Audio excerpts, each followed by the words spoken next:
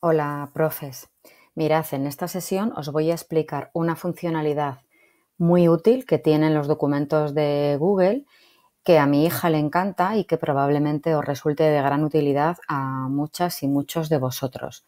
Y es que podemos redactar un texto sin necesidad de utilizar prácticamente el teclado porque podemos dictarle todo aquello que queramos al propio documento. Bueno, pues aquí voy a utilizar el documento que teníamos el otro día, que lo preparé, ¿vale? Que lo cogí de una plantilla de Google y imaginaros que en este apartado pues yo tengo que escribir un texto largo y no soy muy hábil con el teclado de mi ordenador porque me cuesta, no sé mecanografía, ¿vale? Imaginaros, entonces lo que voy a hacer es que me voy a herramientas y fijaros que aquí tengo una funcionalidad que se llama dictado por voz. Bueno, pues simplemente pincho aquí, aparece el micrófono. Probablemente a vosotros la primera vez que lo utilicéis os va a pedir que mm, le deis permisos al micrófono de vuestro ordenador. Yo en este caso lo que he hecho ha sido simplemente mm, poner mis auriculares con micrófono conectados al ordenador al Chromebook en este caso, ¿vale? Y fijaros que aquí le tengo que decir en qué idioma le voy a hablar a la máquina, en qué clase de español, en qué clase de inglés, en catalán, ¿vale? Aquí tenemos toda la variedad de idiomas que reconoce el documento de Google. Bueno, pues en este caso yo obviamente voy a dejar seleccionado el español de España y fijaros que me dice haz clic para hablar.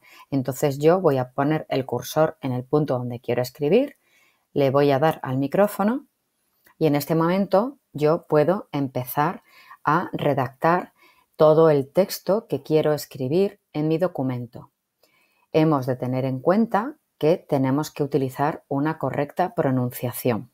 Punto. Mientras el micrófono esté de color rojo, podemos hablar permanentemente sin necesidad de marcar nuevamente el micrófono. Punto. Como podéis comprobar, Simplemente tendría que revisar la mayúscula del inicio de la oración. Pero si al final de la frase yo digo la palabra punto, lo que va a hacer es que va a poner el punto en la oración.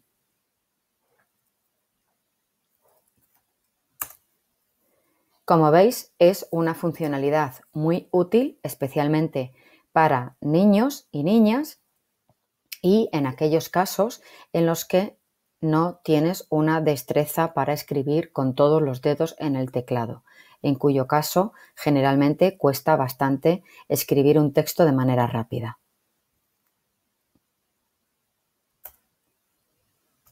Cuando he terminado, basta con que le vuelva a dar al micrófono, puedo cerrar aquí, si lo vuelvo a abrir, se me ha olvidado deciros que el micrófono yo lo puedo mover de un lado para otro donde me gusta tenerlo. A mí me gusta ahí y ya está. ¿Vale?